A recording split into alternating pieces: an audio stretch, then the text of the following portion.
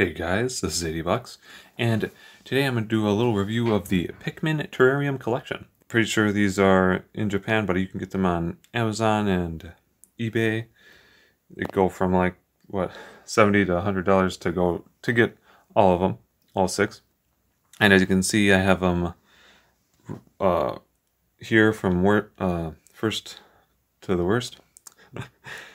so right here we have the Pikmin carrying an object. And also I'm going to be telling you, because actually you're going to have to, when you get these, you're going to actually have to put them together. They don't just come in, they don't just come like this, which is actually pretty surprising.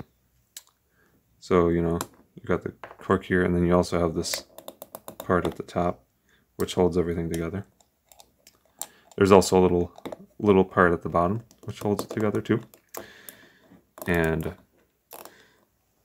the only ones I had trouble with are this one, because the water Pikmin seem to uh, just wobble around in there. They're not really like stuck in one spot, kind of like these these people. Are, it's really nice. They're all stuck in one spot, can't move around. Although the lily pad, it's not even like if I move this, the lily pad's gonna like shake. This one the dead Pikmin does shake, does add a little bit. This one was was hard to put in.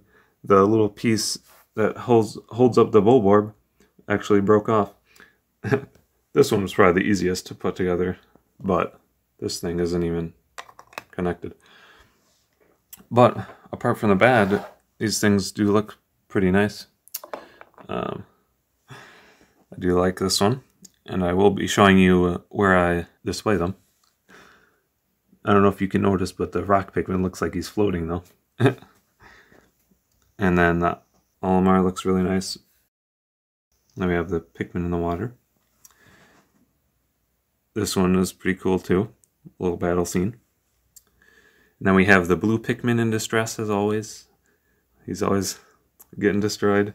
and then the yellow Pikmin getting charged. One thing you will have to worry about is that those are, there is this little line, so you'll probably want to make sure that that's not in front.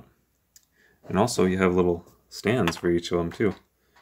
Some of them do say Pikmin, some of them don't. That one says Pikmin, and then these two over here say Pikmin as well. This is what the box looks like, if you're wondering what the box looks like. And then there's a little tag that confirms a complete set.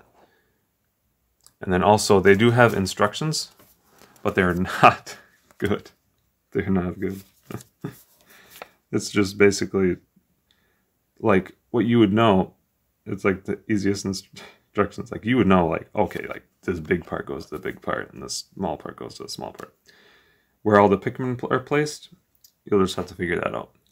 But it is usually pretty self-explanatory and pretty easy.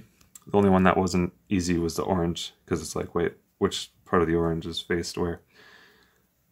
But it's not too hard. And they look pretty nice. Now I'm going to show you where I'm going to display them. So that's where they are displayed. Definitely great display pieces. Um, the in inside pieces do smell like some type of factory plastic, but they are contained inside. the other clear dome plastic pieces. So I hope you guys enjoyed that video, and if you did, then you can like it. And I'll see you guys next time.